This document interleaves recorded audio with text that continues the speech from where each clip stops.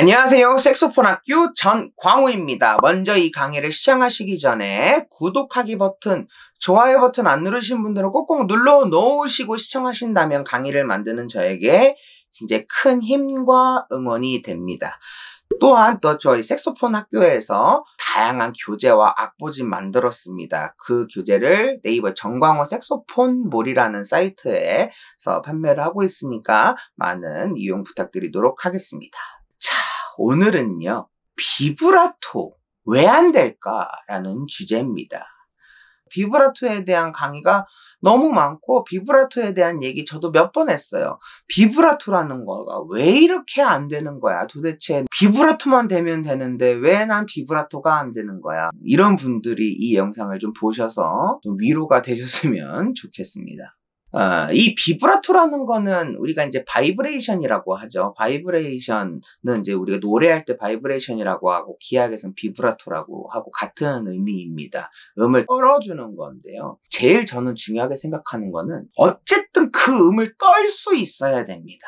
어떤 방법이라든 그 음을 떨어줘야 하는데 중요한 거는 떨기만 하면 되는 게 아니라 노래에서 적용을 해줘야 되는 겁니다. 그런데 어떤 분들은 호흡으로 후후후후후 이렇게 하시는 분들도 있고 어떤 분들은 입으로 왕왕왕왕왕 하지만 나는 왕왕왕왕왕왕 하는데 듣는 사람들은 왕왕왕왕왕왕왕이 안 들리는 분들도 있고 그쵸? 굉장히 여러 케이스가 있어요.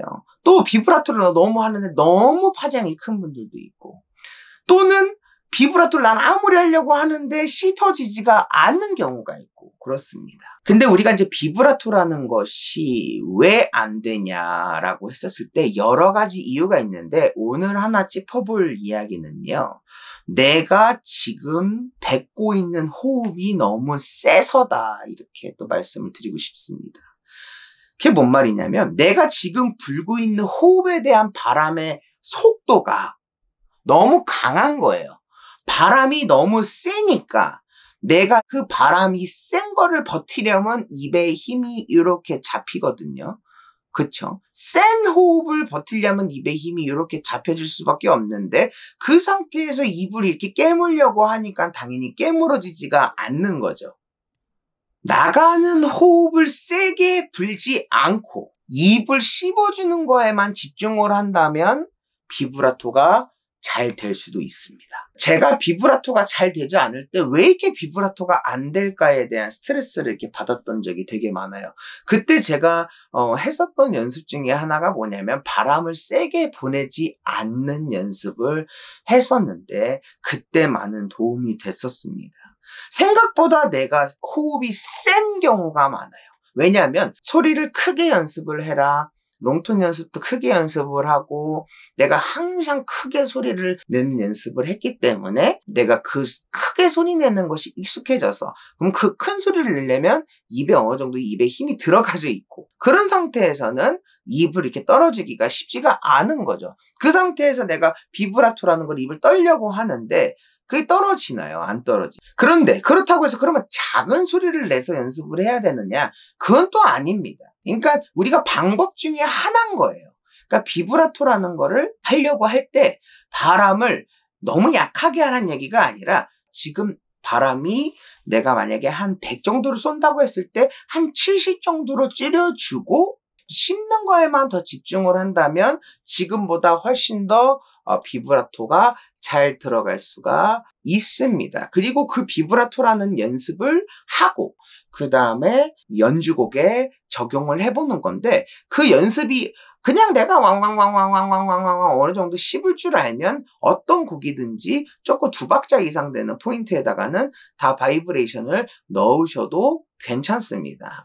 그런 식으로 연습을 해보시고, 아, 근데 내가 비브라토 연습을 어떻게 연습을 해야 될까? 뭐 좀 방법이 없을까라고 한다면, 그러한 방법을 모르시겠다면, 하냐면 저희가 또 매일 연습하는 악보집이라는 또 교재를 만들어 놨어요. 거기에는 뭐 long tone, tonguing, 기본적 비브라토, 뭐 도약 연습, 스케일 연습 이런 것들이 다 종합적으로 들어가니까 매일 연습해야 될 것들을 모아놨는데 그 중에 비브라토 연습이 들어가져 있습니다. 그래서 가격은 13,000원이고요. 그래서 여러분들이 필요하신 분들은 어, 이쪽 연락처로 연락을 주셔가지고 또는 사이트에서 주문하셔가지고 매일 연습책을 받아보셔서 비브라토 연습을 하시고 그거로 비브라토 연습이 잘 되면 그 다음에 내가 지금 하고 있는 어떤 연주곡이나 이런 데다가 비브라토를 이렇게 적용을 해보고 이런 식으로 내가 해볼 필요가 있고요. 단 지금보다 내가 뱉고 있는 호흡을 약 30% 정도 약하게 해서 연주를 해본다면 지금보다 조금 더 비브라토가 더 잘 되지 않을까라고 생각이 됩니다.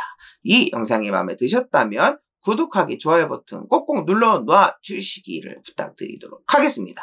다음 영상에서 뵐게요. 지금까지 색소폰 학교 전광우였습니다. 감사합니다.